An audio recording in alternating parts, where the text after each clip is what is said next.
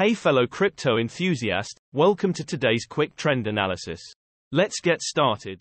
Today, find out how the price of Ethereum has changed and what the technical indicators RSI, stochastic RSI and MACD show.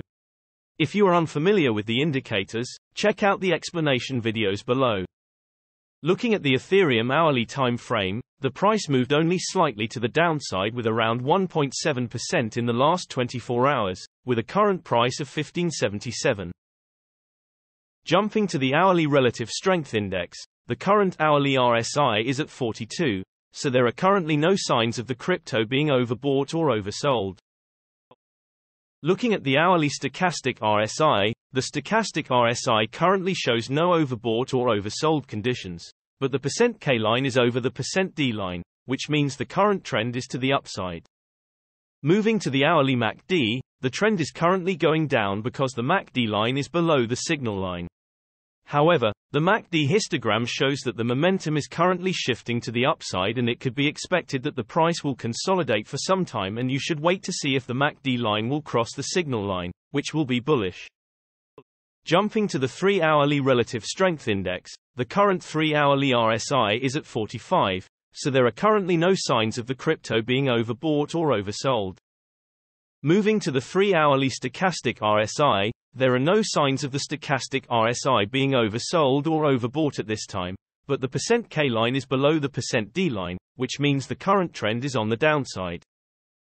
Jumping to the 3-hourly MACD, the trend is currently going down because the MACD line is below the signal line. We can expect for the price to continue going down or perhaps remain at least stable because the MACD histogram shows the momentum currently being strong. Looking at the daily relative strength index, the current daily RSI is at 62, so it doesn't show signs of overbought or oversold conditions at this point. Looking at the daily stochastic RSI, we can see that the crypto is being oversold because the %K and %D lines are in the lower region. A change in the trend can be expected or for the crypto to remain at least stable for some time.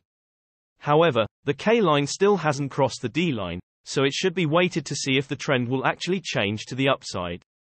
Moving to the daily MACD, the trend is currently going down because the MACD line is below the signal line. The MACD histogram shows that the momentum is currently strong and it could be expected the price to go further to the downside. Generally, the bigger time frames have a bigger impact on the price, so please keep that in mind when we show different time frames showing contrasting indicators. Also the shorter time frames are only representative for the short-term trading. Thanks for watching and know that every few hours new videos are uploaded analyzing different cryptocurrencies, so be sure to hit subscribe and not miss out. If you have any questions, leave a comment below and we'll get back to you ASAP. Also, keep in mind that you should make your own investment decisions as cryptocurrency trading is very risky and these daily videos only an overview of trends and are a purely technical analysis without considering the fundamentals. See you next time.